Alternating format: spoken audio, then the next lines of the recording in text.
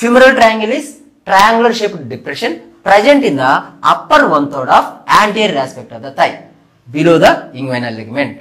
It is bounded laterally by medial border of sartorius, medially by medial border of adductor longus and base is formed by inguinal ligament, apex is formed where lateral boundary and medial boundary is meeting.